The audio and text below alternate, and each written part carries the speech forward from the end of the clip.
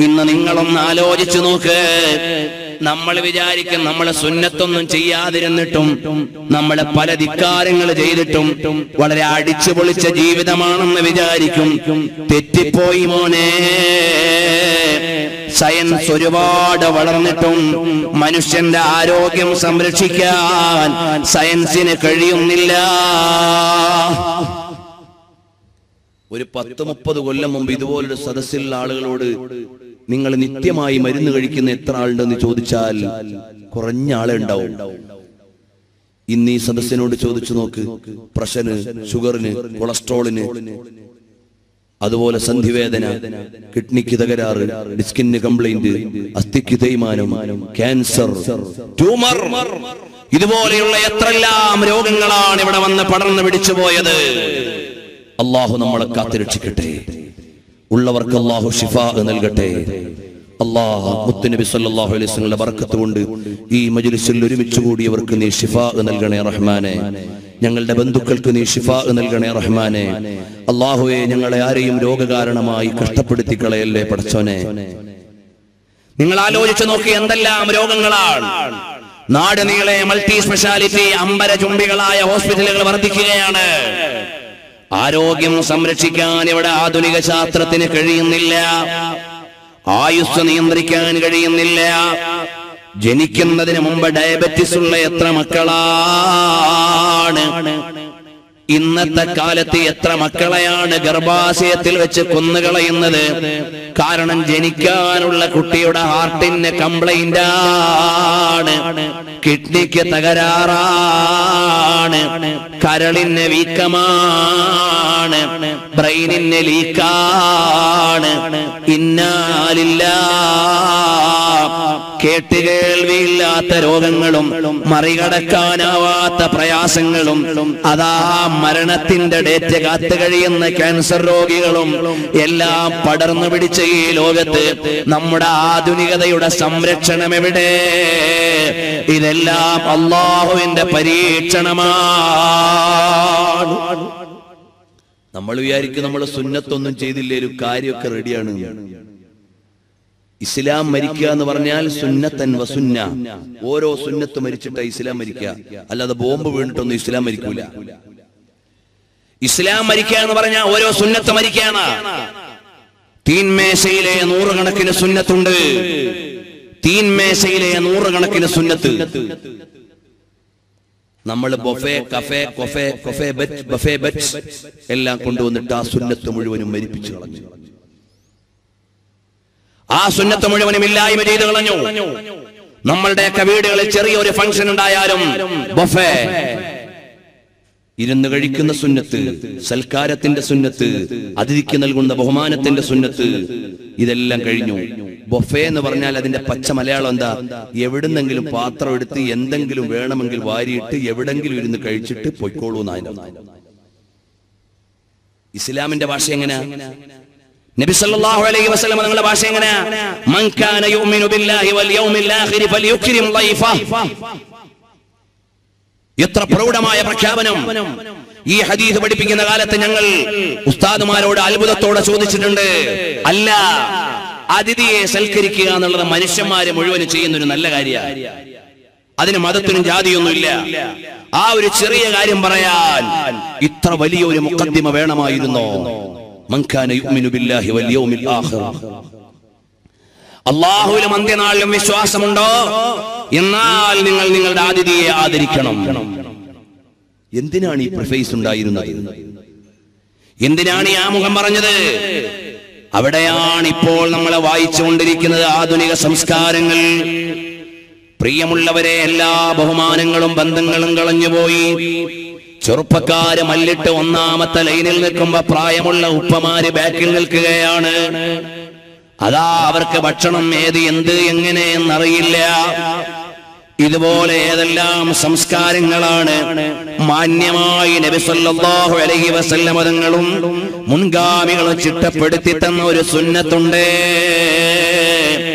നിങ്ങൾ വിചാരിക്കും ഈ സുന്നത്തുകൾക്കൊന്നും വലിയ വിലയില്ലെന്ന്. ഖാദിസിയ യുദ്ധത്തിന്റെ ആദ്യഘട്ടത്തിൽ ഒരു ചെറിയ പരാജയത്തിന്റെ ലാഞ്ചന വന്നപ്പോ സ്വഹാപത്തെ ചർച്ച ചെയ്യുകയാണ് എന്തേ നമ്മൾ ഈ പ്രയാസം നേരിടുന്നത്? ഉടനെ അവർ പറയുകയാണ് തറക്കിനാ സുന്നത്ത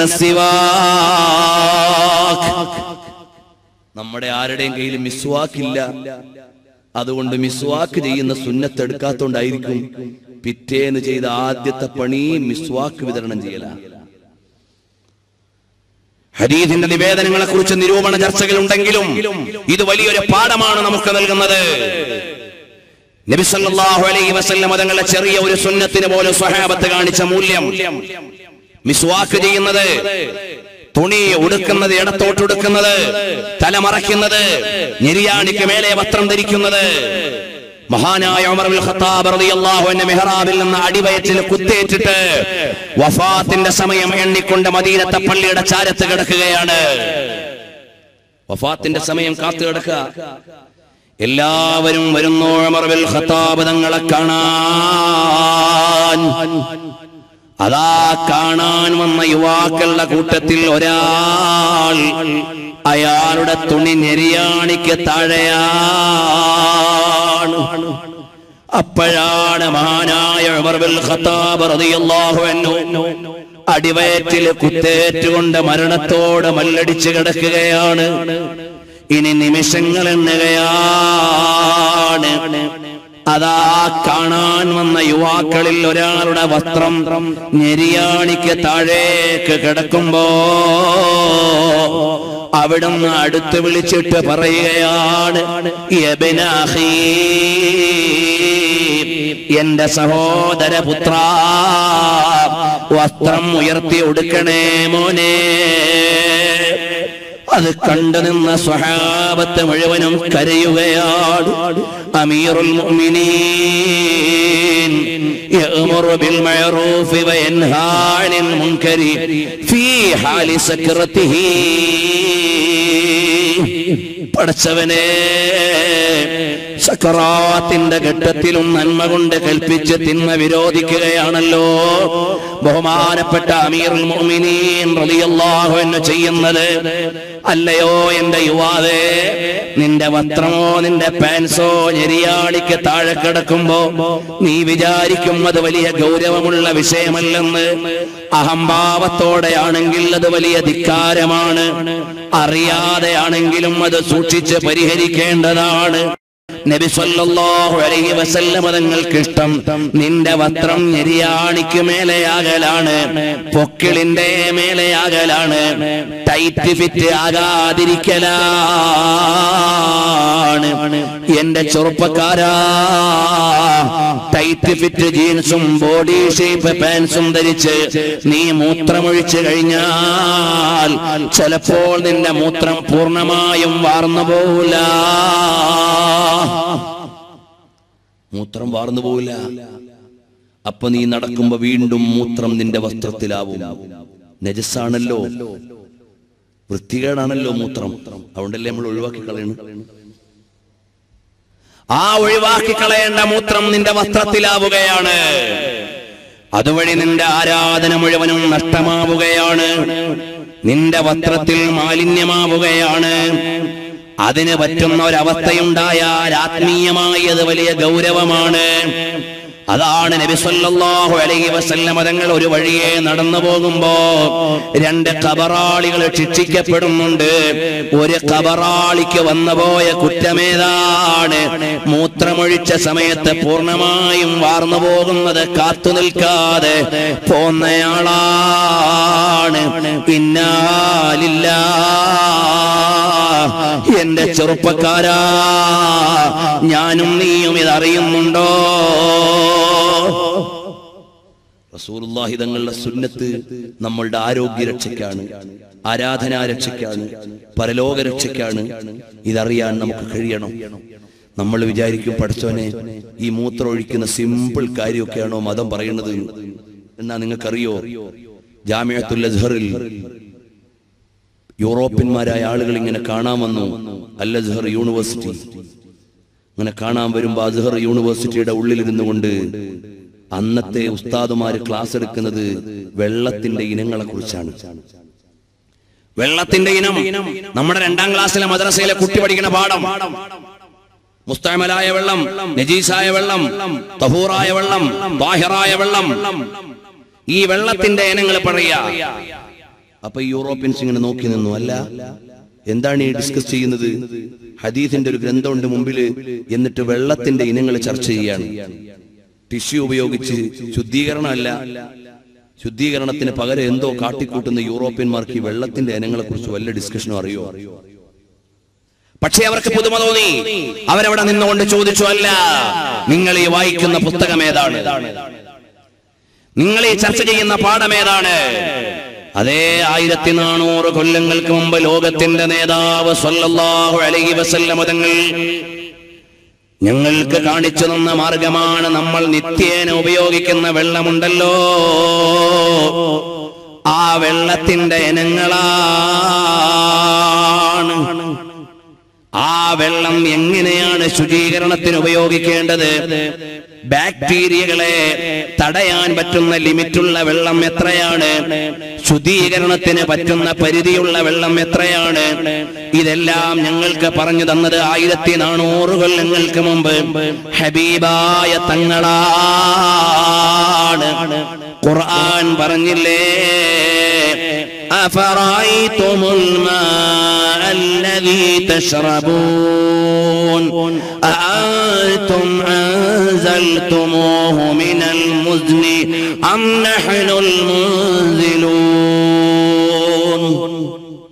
ഖുർആന്റെ ചോദ്യമാണ് ഖുർആന്റെ ചോദ്യ എത്ര വിശാലമാണ് നമ്മുടെ മതം? എത്ര ബൃഹത്താണ് നമ്മുടെ കർമ്മശാസ്ത്രം? എത്ര പ്രൗഢമാണ് നമ്മുടെ അനുഷ്ഠാന രീതികൾ? ഖുറാന്റെ ചോദ്യം ലോകത്തോട് മുഴുവൻ.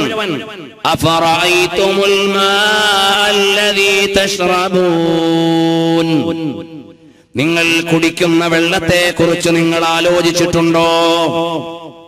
ഇതാരോടാ ചോദ്യം? ടു ഓൾ ഹ്യൂമൻ കൈൻഡ് എല്ലാവരോടും. എല്ലാവരോടും ചോദിക്കാം നിങ്ങളെ കുടിക്കണ വെള്ളത്തെ കുറിച്ച് നിങ്ങൾ ആലോചിച്ചിട്ടുണ്ടോ? നമ്മളെ നമ്മുടെ കുട്ടികളെ വിചാരിക്കും രണ്ട് ഹൈഡ്രജനും ഒരു ഓക്സിജനും കൂടിയതാണ്. ഒരു മൊളിക്കൂൾ വാട്ടർ അല്ലെങ്കിൽ ഒരു തന്മാത്ര ജലം. മോനെ അങ്ങനെ കുറെ ഹൈഡ്രജനും ഓക്സിജനും കൂട്ടിയിട്ട് ആരും ഉണ്ടാക്കിയതല്ലിത് അല്ല ഇറക്കിയ വെള്ളത്തിലെ രണ്ട് ഘടകങ്ങൾക്ക് സയന്റിസ്റ്റുകൾ പേരിട്ടു. One is hydrogen another is oxygen ഇനി നാളെ ഏതെങ്കിലും സയന്റിസ്റ്റുകൾ വന്നിട്ട് ഹൈഡ്രജൻ അല്ല അതിന് വേറെ പേര് പറഞ്ഞാൽ അത് നമ്മൾ പഠിക്കണം. അതേ ഉള്ളൂ അതിന്റെ അർത്ഥം. വെള്ളം ഇറക്കിയത് അവരാരും അല്ല. അള്ളാഹുവിന്റെ ചോദ്യമാണ് നിങ്ങൾ കുടിക്കുന്ന വെള്ളത്തെ കുറിച്ച് നിങ്ങൾ ആലോചിച്ചിട്ടുണ്ടോ?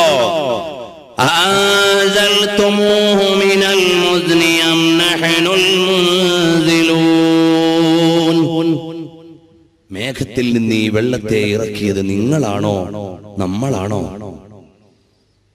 എന്ത് തുറന്ന ചോദ്യമാണ് നമ്മുടെ നാട്ടിലെ ഏതെങ്കിലും ചാനലുകാരുടെ അർത്ഥമറിയാത്ത ചോദ്യം പോലെയാണോ? കാര്യമറിയാത്ത ഇന്റർവ്യൂ പോലെയാണോ അല്ല? ലോകത്തിന്റെ ആലോചനയുടെ മാറ് പിളർന്നിട്ട് ചോദിക്കാണ് ആരാണ് ഈ വെള്ളം ഇറക്കണത്? നിങ്ങളാണെങ്കിൽ ഇപ്പൊ ഒന്ന് ഇറക്കിയേ. നിങ്ങളാണെങ്കിൽ ഇറങ്ങണമെന്ന് മുടക്കിയേ. ഇതാ ചോദ്യത്തിന്റെ രീതി. നിങ്ങളാണെങ്കിൽ നിങ്ങൾക്കിപ്പോ ഇറങ്ങാം. നിങ്ങളാണെങ്കിൽ ഇറങ്ങുന്ന സമയത്ത് തടയാം. കഴിയില്ല. കഴിയില്ല. അപ്പോൾ അള്ളാഹു തആല നമുക്ക് തന്ന നിയമം നിങ്ങളുടെ വെള്ളം എങ്ങനെയാണ് ഉപയോഗിക്കേണ്ടത്? അത് നിസ്സാരമായ വിഷയമല്ല. എല്ലാം ഗൗരവമേറിയ രീതിയിൽ. അപ്പോൾ നിങ്ങൾ വിചാരിക്കും എന്റെ പുതിയ തലമുറയിലെ കൊച്ചുമക്കൾ അല്ലെങ്കിൽ അനുജന്മാര് വിചാരിക്കും ഈ മൂത്രമൊഴിച്ച് ശുചീകരിക്കുന്നതിനൊക്കെയും ഇത്ര സുന്നത്ത് ശ്രദ്ധിക്കേണ്ടതുണ്ടോ? മോനെ അതാ പുത്തനാശയക്കാരനായ ഒരാൾ. അയാൾ നബി സല്ലല്ലാഹു അലൈഹി വസല്ലം തങ്ങളുടെ ഒരു വാക്ക് കേൾക്കുകയാണ്. ഫലാ യഗ്മിസ് യദഹു ഫിൽ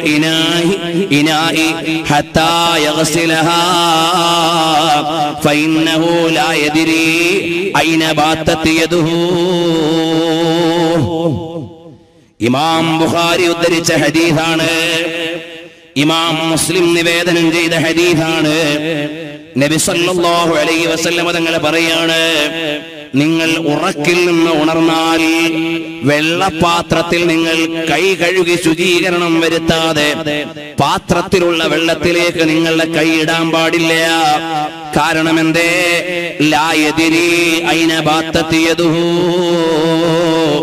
രാത്രിയിൽ നിന്റെ കൈ എവിടെയായിരുന്നു എന്ന് അറിയില്ലല്ലോ. അവന്റെ കൈ ചിലപ്പോൾ രഹസ്യഭാഗങ്ങളിൽ തൊട്ടിട്ടുണ്ടാകാം. ചിലപ്പോൾ കല്ലുകൊണ്ട് ശുചീകരണം വരുത്തിയിട്ട് മാലിന്യത്തിന്റെ അംശങ്ങളുള്ള സ്ഥലങ്ങളിൽ തട്ടിയിട്ടുണ്ടാകാം. അങ്ങനെ നിന്റെ കൈ മറ്റു പല സ്ഥലങ്ങളിലും വ്യവഹാരം നടത്തിയിട്ടുണ്ടാകാം. അതുകൊണ്ട് ചെറിയ പാത്രത്തിൽ കരുതി വെക്കുന്ന വെള്ളത്തിൽ ശുദ്ധീകരിക്കാതെ വെള്ളത്തിലേക്ക് കൈയിട്ടാൽ ആ വെള്ളത്തിന്റെ ശുദ്ധിയെ ബാധിക്കുന്നതാണ് എന്ന നിലയ്ക്ക് നബി സല്ലല്ലാഹു അലൈഹി വസല്ലം തങ്ങൾ പറഞ്ഞ ഒരു ഹദീസ് കേട്ടപ്പോ യുക്തി കൂടെ പിടിച്ചുപോയ മതപരിഷ്കരണം എന്ന പേരിൽ വിദഗ്ധകാരൻ പറയുകയാണ് അന അതിരീ അയിന ബാത്തത്തി യദീ ബാത്തത്ത് ഫിൽ ഫിറാഷ്. എനിക്കറിയാം.